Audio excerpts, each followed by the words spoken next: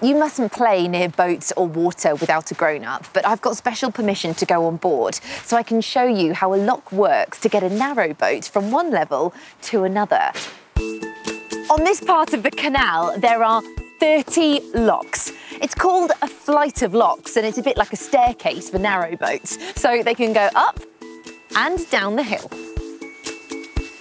All locks work the same way using gates called lock gates. And this one has one at the top and two at the bottom.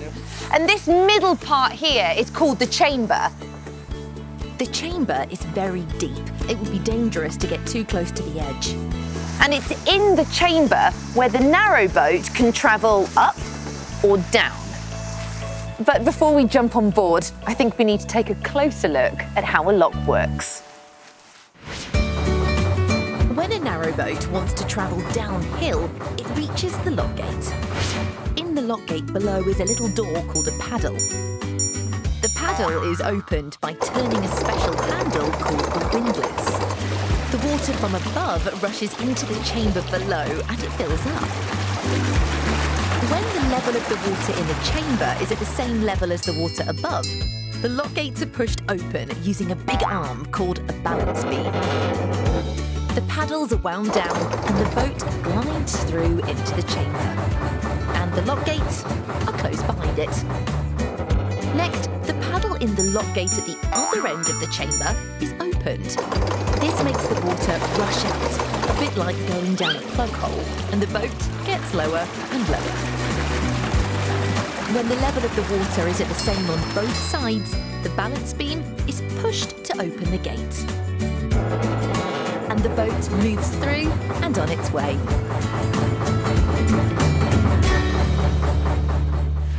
Isn't that clever? I'd like to see it all working for real though, would you? This is John and he's our skipper. He's going to be driving the narrowboat through the lock today. First, I'm opening up the paddle, the little trap door at the bottom of the lock gate, which lets the water in. And I'm using the special handle called the windlass. It's actually quite hard work. wow! The chamber needs to fill all the way up to the same level as our boat. There we go, the chamber is full of water and you can see it's at the same level as the canal where our narrow boat is, which means we can open the lock gate.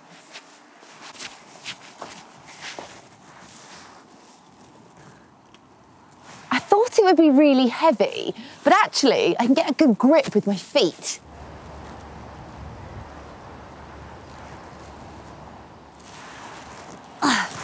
There we go, that's the gate open. Time to get on the boat.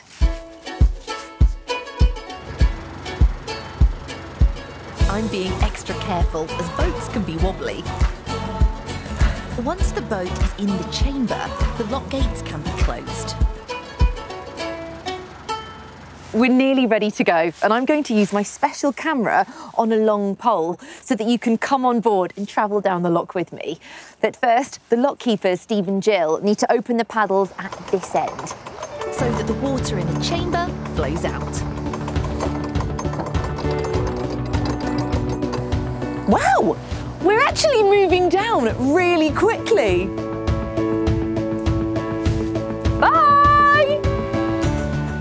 Whilst we're just going down the lock, let's go to the other end of the boat to see what it looks like from the captain's point of view.